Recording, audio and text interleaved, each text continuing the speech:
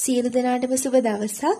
ඉතින් මම අදත් ඇවිල්ලා ඉන්නවා ඔයාලට අලුත් වීඩියෝ එකක් අරගෙන අධ්‍යාපන මිනුම ඇගයීම සහ තක්සේරුකරණය කියන විෂය යටතේ අදත් එක් සුවිශේෂී මාතෘකාවක් ගැනයි මම කතා කරන්න බලාපොරොත්තු වෙන්නේ.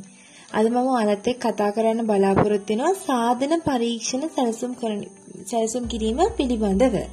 ඒ කියන්නේ planning achievement test.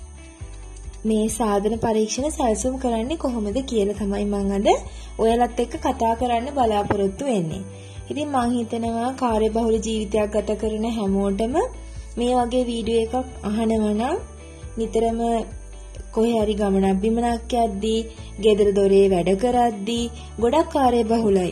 ඉතින් මම හිතන්නේ හැමෝටම ගොඩක් ප්‍රයෝජනවත් වෙයි මේ වගේ වීඩියෝ එකක් අහන්න පුළුවන් වුණොත්. සමහරක් වෙලාවට හොස්ටල් වල බෝඩින් වෙලා ඉන්නවා ගොඩක් ළමයි. ගුරු සිසු සිසුවියන් ඉන්නවා. ඒ වගේම විශ්වවිද්‍යාලයේ ඉගෙන ගන්න අය ඉන්නවා. එතකොට ගුරු විද්‍යාලවල, විද්‍යාපීඨවල මේ විෂය ගොඩක් අවශ්‍ය වෙන බොහෝ දෙනෙක් ඉන්නවා අධ්‍යාපන ශාස්ත්‍රයේ.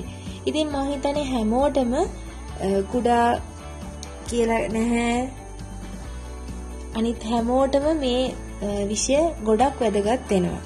ඉතින් හැමෝම හිතන්නේ මේකේ මේ සංඛ්‍යානයේ කොටස තමයි ටිකක් අමාරු වෙන්නේ. ඒත් ඒක පාඩම් කරගත්තොත් ගණන් හදන්න පුළුවන් නම් හරියට තීරිය දැනගෙන හිටියොත් විභාගේ හරිම ලේසියි. ඉතින් ලේසියෙන්ම කොට දාගන්න පුළුවන් විෂයක් මේක. හොඳට අවබෝධයෙන් පාඩම් කරනවා නම්. ඉතින් හැමෝටම පොතක් දිග අරගෙන පාඩම් කරන්න වෙලාවක් නැහැ කියලා තමයි ගොඩක් අය කියන්නේ. ගොඩක් අය කාර්යබහුලයි. ගොඩක් ගුරුවරුන් කාර්යබහුලයි. ඒ ගුරු වෘත්තිය නියැලිලා ඉන්න නිසානේ. ඉතින් මේ දවස්වලත් ගොඩක් වෙලාවට හැමෝම කාර්යබහුලයි. ඉතින් හැමෝටම පුළුවන් මේක ගොඩදා ගන්න. ඉතින් ඔයාලට පුළුවන් මේ වගේ මගේ වීඩියෝ එකට කැමති නම් ඔයාලට පුළුවන් මේක ලයික් කරන්න, යාළුවන්ට බලන්න ෂෙයා කරන්න පුළුවන්. ඔයා වගේම අපහසුතාවයෙන් ඇති යාළුවෝ. ඉතින් යාළුවට බලන්න ෂෙයා කරන්න පුළුවන්. ඔයාලට මොනවා හරි දැනගන්න තියෙනවා නම් හරි, එහෙම නැත්නම් මොනවා හරි අහන්න තියෙනවා නම් හරි, මේ වීඩියෝ එක ගැන මොනවා හරි කියන්න තියෙනවා නම් හරි, ඔයාලට පුළුවන් කමෙන්ට් එකක් ඉදිරිපත් කරන්න අපිට. ඉතින් මම බලාපොරොත්තු වෙනවා හැමෝටම ඒ හැම කමෙන්ට් එකකටම රිප්ලයි කරන්නත් මම බලාපොරොත්තු වෙනවා. ඉතින් අපි බලමු එහෙනම් අද මේ සාධන පරීක්ෂණ සැලසුම් කිරීම කියන්නේ මොකක්ද කියලා. හරි මුලින්ම අපි කතා කරමු සාධන පරීක්ෂණවල ස්වභාවය ගැන. අපි පාඩම් අංක 8 තමයි අද කතා කරන්නේ. පාඩම් අංක 8න් ඔයාලට පුළුවන් මේ කලින් වීඩියෝස් තියෙනවා. කලින් වීඩියෝස් අපේ YouTube channel එකට YouTube channel එකෙන් ඔයාලට බලා ගන්න පුළුවන්. අපේ YouTube channel එක තමයි My School Teacher EDU යාත්‍රා කියන YouTube channel එක. ඉතින් ඔයාලට subscribe කරන්නත් පුළුවන්. මේ වගේම වටිනා වීඩියෝවක් බලන්න ඕන නම් ඔයාලට පුළුවන් අපේ YouTube channel එක subscribe කරන්න. ඉතින් හරි අපි බලමු සාධන පරීක්ෂණවල ස්වභාවය කියලා කියන්නේ මොකක්ද කියලා. අපි මෙහෙම බැලුවොත් එහෙම අපේ පන්තියේ සිසුන්ගේ සාධන මට්ටම පරීක්ෂා කිරීම සඳහා උචිත සාධන පරීක්ෂණ තැනීම තැනීම හා පැවැත්වීම ඉගෙනුම ගැන්වීම් ක්‍රියාවලියේදී ගුරුවරයෙක් අතින් අවශ්‍යයෙන්ම ඉටවිය යුතු වගකීමක්. ඒ කියන්නේ අනිවාර්යෙන්ම ගුරුවරයෙක් ඒ ගුරුවරගේ කාර්යභාරය තමයි ඒක. උචිත සාධන සාධන පරීක්ෂණ තැනීම පැවැත්වීම වෙන්න ඕනේ කටයුත්තක්. ඉතින් මේකෙදි මේ සාධනය කියලා කියන්නේ ළඟාවීම. එහෙම නැත්නම් ලබා ගැනීම.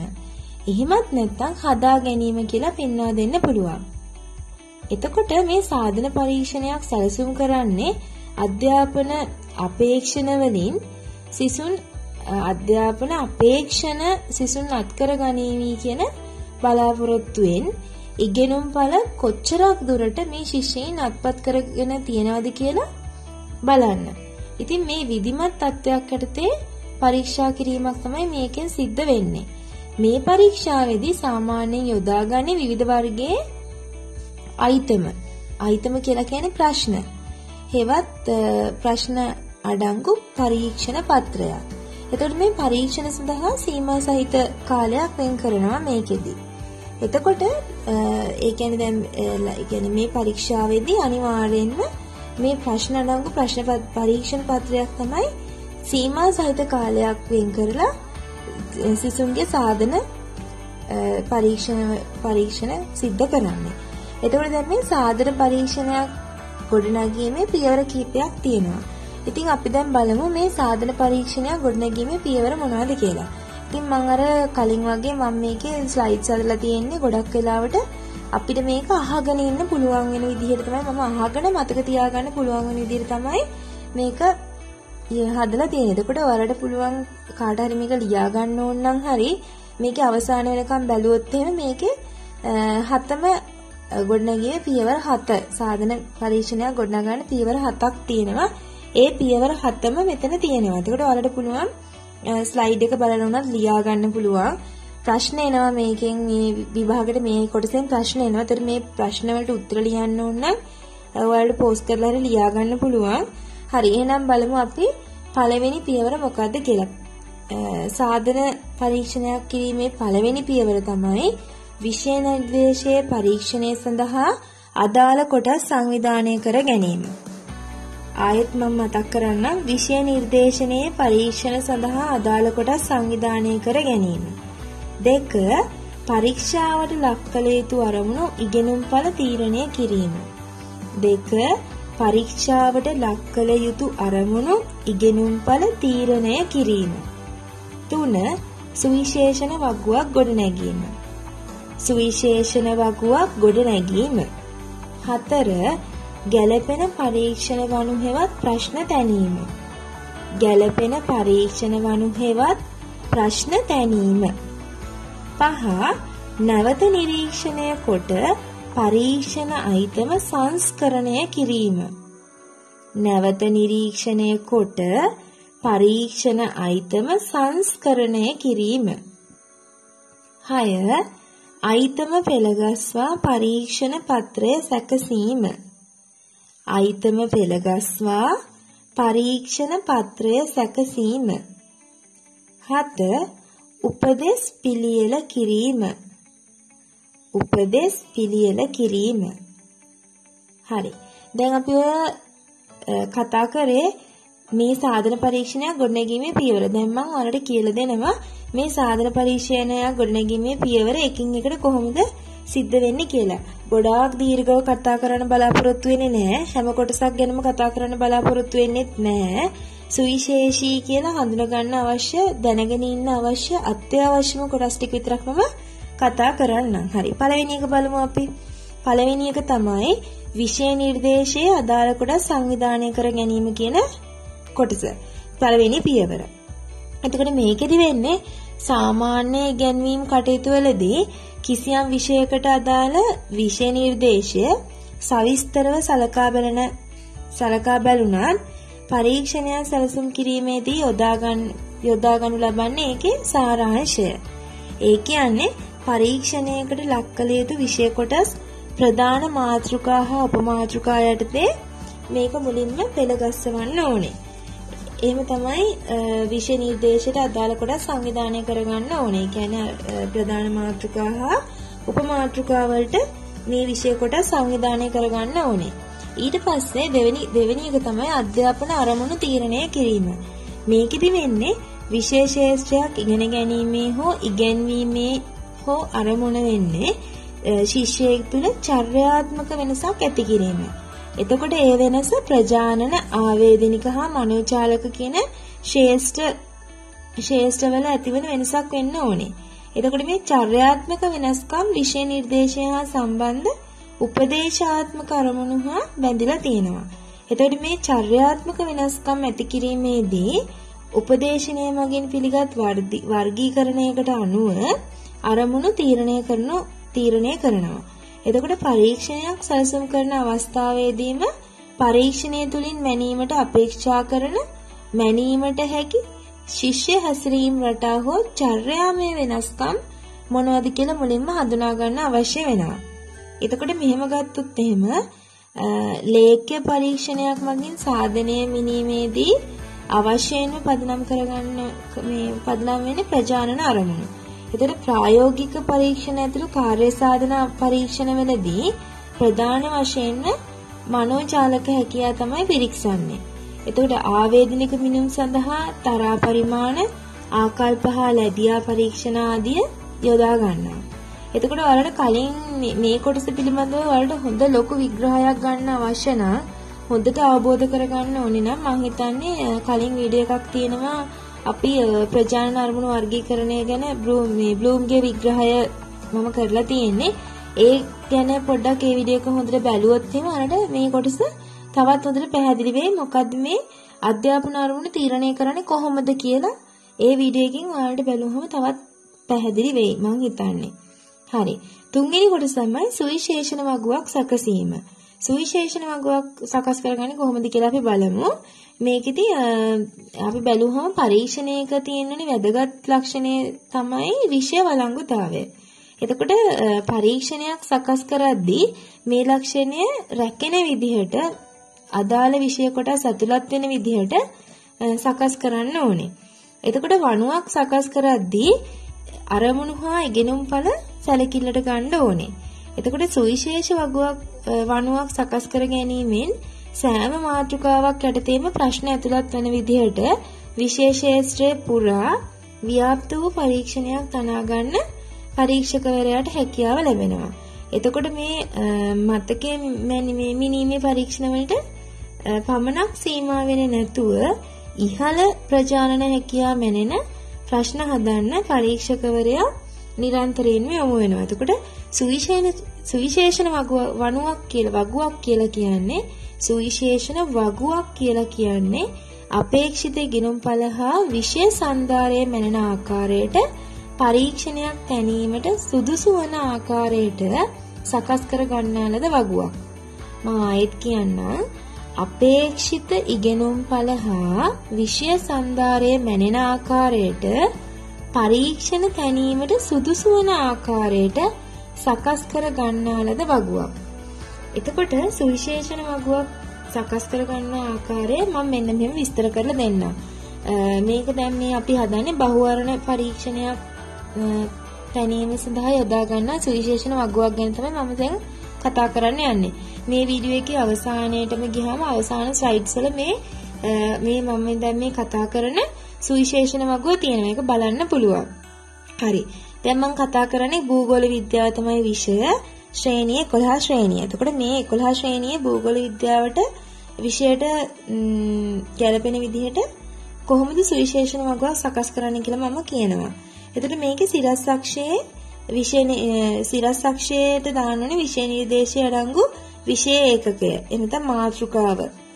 මාතෘකාවයි මැනීමට අපේක්ෂා කරන අධ්‍යාපන අරමුණුත් දක්වන්න ඕනේ. එතන තිරස්ක්ෂයේ එක් එක් විෂය ඒකකයේ සඳහා වණු පිළියෙල කරන ආකාරය දක්වලා තියෙනවා. මේකෙදි අධ්‍යාපන අරමුණු වර්ගීකරණය සඳහා බ්ලූම්ගේ අධ්‍යාපන අරමුණු වර්ගීකරණය තමයි උපයෝගී කරගෙන තියෙන්නේ. මේකෙදි වගුව සකස් කිරීමේදී විෂය අණු කොටස් අතර වණු ව්‍යාප්ත වන ආකාරය තීරණය කිරීමේදී විෂය ඒකක ඉගෙනීම සඳහා වැය කරන කාලය සැලකිල්ලට අරගෙන වණු සංඛ්‍යාව තීරණය කරන්න ඕනේ. එතකොට එක් එක් ඒකකයේ සඳහා ප්‍රශ්න සංඛ්‍යාව තීරණය කර තීරණය කරලා ඊට පස්සේ විෂය නිර්දේශය තුළ වණු යාප්ත කළ යුත්තේ කුමන ආකාරයෙන්ද කියලා සැලකිල්ලට ගන්නත් ඕනේ. ඊට පස්සේ මේ ඔයාලට දැන් එතකොට ඇත්තටම මේ වගුව නිරීක්ෂණය කිරීමෙන් විෂය ඒකකයේ නියෝජනය වන පරිදි හා අපේක්ෂිත අරමුණු වෙනන ආකාරයට ප්‍රශ්න සමබරව ව්‍යාප්ත වී ඇති ආකාරය පැහැදිලි වෙනවා. එතකොට දැනුම හා භාවිත යන අපේක්ෂණ වෙනුවෙන් වණු 8ක් දක්වලා තියෙනවා. අනිත් අපේක්ෂණ සඳහා වණු 6ක් දක්වලා තියෙනවා. සැලසුම් කරලා තියෙනවා. එතකොට එක් එක් විෂයේ ස්වභාවය සැලකිල්ලට අරගෙන වණු වල වණු වලට තබන බර තීරණය කරන්න ඕනේ. එතකොට උදාහරණයක් විදිහට මේක බලුවොත්ම ගණිතය, සංගීතය, නැටුම් කියන විෂයන් භාවිතයෙන් වැඩියෙන් ප්‍රගුණ කරන විෂයන්. ඒ නිසා අරමුණු වලට විවිධ මට්ටම් වලට කුමන බරක් දෙන්න ඕනේද කියලා පරීක්ෂණ මේ පරීක්ෂණය සකස් කරගන්න සකස් කරන විසින් සිහිරණය කරන්න ඕනේ අනිවාර්යයෙන්ම. එතකොට ඒ කියන්නේ අර උදා කියන්නේ ගණිතය සංගීතය වගේ වැඩියෙන් භාවිතය වැඩියෙන් භාවිතා වන ප්‍රගුණ කරන්න ඕනේ විෂයන් වලට වැඩි බරක් දෙන්න ඕනේ. ඒ ඒක තීරණය කරන්න ඕනේ අනිවාර්යයෙන් මේ පරීක්ෂණය සකස් කරන කෙනා. ඒතකොට මම හිතන්නේ ඔයාලට අර මේ දැන් ওই වගුව දැක්කම විශේෂණ වගුව දැක්කම කොහොමද ඒකේ මේ අරමුණ විහිදලා තියෙන්නේ කියලා බලා ගන්න පුළුවන්.